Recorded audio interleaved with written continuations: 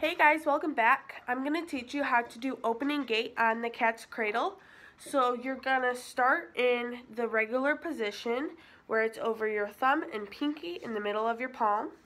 What you're going to do is you're going to take your pointer fingers and pick up the loops on each side of your hand. It should look like that.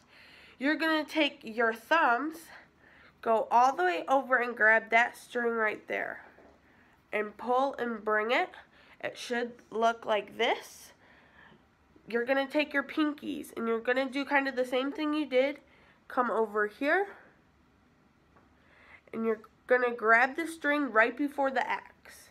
Pull should look like that or like which way you see it. Okay, now you're since you used your pointer finger, you're going to take it in this hole, okay? right there. And you're going to hold it like on your palms, flip everything else off while you're still holding those two strings, those two loops. You're going to slip your whole hand in those and you're going to pull and that's opening gate. Thanks for watching.